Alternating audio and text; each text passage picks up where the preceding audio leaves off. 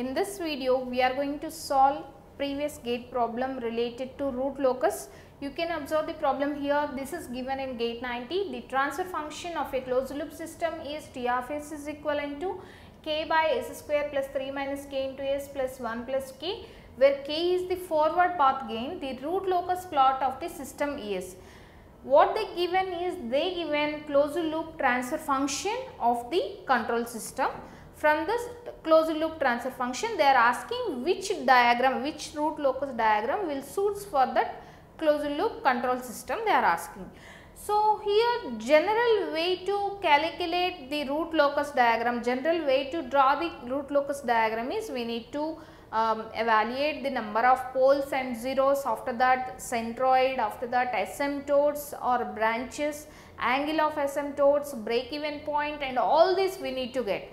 But when you observe the options so here the options are not given with all those points what they given is just they given some information they gi just given a shape and number of poles on the re real and imaginary axis. If you observe option number A, so in this option number A, what, what is the meaning of this k equivalent to 0, k is equivalent to infinity means by this root locus diagram of option A, they are saying that when we substitute k is equivalent to 0, then you are going to get two poles on the real axis. When you are substituting k is equivalent to infinity, you are going to get two zeros on the imaginary axis. This is the meaning of option A.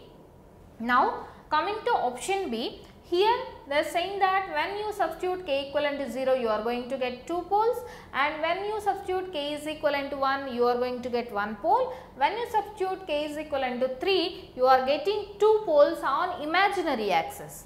Now, coming to option C, so here also k equivalent to 0, you are going to get 2 poles when k is equivalent to infinity. So, then you are having asymptotes lines and uh, here you are having some poles. So, now here you are having option D and here also when you substitute k is equivalent to 0 you are going to get 2 poles. These are the diagrams given. When you given with this type of questions you need to do inspection method. Why? Because the process of drawing that root locus diagram it will take so much time it will nearly take 15-20 minutes but uh, um, doing that process is typical in GATE like technical exams. So, inspection methods are very important in this point of view. So, if you observe, if, if you observe these diagrams, the general points we can substitute is k is equivalent to 0 is common. So, that is why I am going to substitute k is equivalent to 0 first in the characteristic equation of transfer function. So, from where we will get poles means definitely from denominator of our transfer function we are going to get the poles. So, that is why I am considering the denominator of transfer function to get my poles 3 minus k into s plus 1 plus k. So, is equivalent to 0. This transfer function I am considering to calculate the number of poles. So, here if you observe this characteristic equation, if I substituted k is equivalent to 0, then I am going to get s square plus 3s plus 1 is equivalent to 0. If you consider the roots, roots means minus b plus or minus, minus b means here already I am having b value as 3. So, minus b plus or minus root of b square minus 4ac by 2a. So, by using this formula you got the roots of this characteristic equation as so divided by 2. If you observe this value as you are having plus or minus you are having two poles here. But the two poles are real poles only. Why? Because root 5 value is real value. If you added or subtracted from minus 3 so you are going to get real value. If you divided with 2 also you are going to get real value that means you are not going to get any j or i in this value.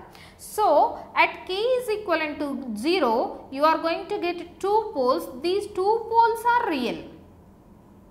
So, here at k is equivalent to 0 in all these diagrams when k is equivalent to 0 you are having 2 poles all the 2 poles are real.